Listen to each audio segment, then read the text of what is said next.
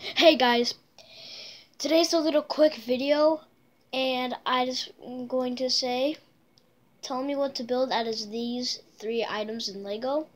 Nothing too big and nothing too hard. Of these three items, a house, pet, or a car. Comment down below one if you want a house. Comment down below two if you want me to build a car.